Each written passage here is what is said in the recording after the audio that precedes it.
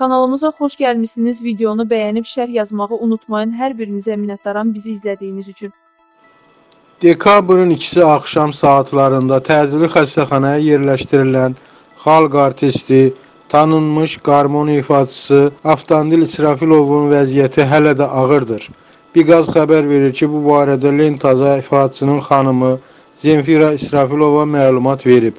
O, Avtandil İsrafilovun səhhətinin mənfiyə doğru getdiyini deyərək ağlamağa başlayıb. Vəziyyəti dəyişmir. Təzyiqi həddən artıq çoxdur. Ayaqlarına və ciyərlərinə su yığılıb. Böyrəkləri demək olar işləmir.